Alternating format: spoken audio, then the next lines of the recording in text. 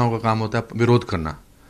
तो उनको इतनी इम्पोर्टेंस देनी नहीं चाहिए। हमने फ़िल्म बनाई है, बाकायदा इसको संवैधानिक तरीके से इसको सेंसर बोर्ड से सेंसर सर्टिफिकेट मिला है ट्रेलर का भी और फ़िल्म का भी। उसके बाद ही हमने कोई भी पब्लिसिटी शुरू की है ऑफिशियल तरीके से।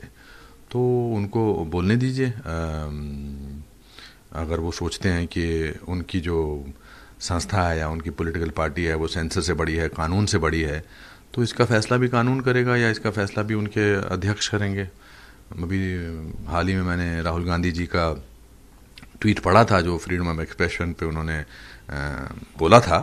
तो आई थिंक ही शुड उनको डांटना चाहिए इन लोगों को कि भाई आप गलत बात कर रहे हो, ऐसा नहीं है, फ़िल्म बनाई है।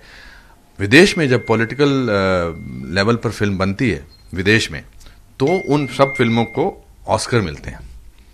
समझे आप? आप चाहे आप लिंकन ले लीजिए, जिसमें डैनियल डे लुइस को ऑस्कर मिला था। कोई नहीं बोलता कि ये किस पार्टी का है, ये रिपब्लिकन पार्टी का है या डेमोक्रेटिक पार्टी का है, या जब गांधी फ़िल्म के लिए बेन किंग्सले को मिला था तो कोई डिस्कशन नहीं करता है। ये अनफॉर्चुनेट है कि यहाँ पर ये डिस्कशन होता है कि इस फ़िल्म को हम बनाने देंगे, चलने नहीं देंगे। ये गुंडागर्दी थोड़ा चल सकती है। जो किताब में दिखा रहे हैं, हम अपने मन गणन तो है ना मीडिया एडवाइज़र थे उनके वो, संजय बारू साहब, मीडिया एडवाइज़र थे उनके। ऐसा कोई बाहर से किसी ने किताब नहीं लिखी है, उन्होंने उनके साथ पाँच छः, पाँच साल गुजारे हैं। और पिक्चर जब देखेंगे तो आपको मनमोहन सिंह जी से प्यार हो जाएगा।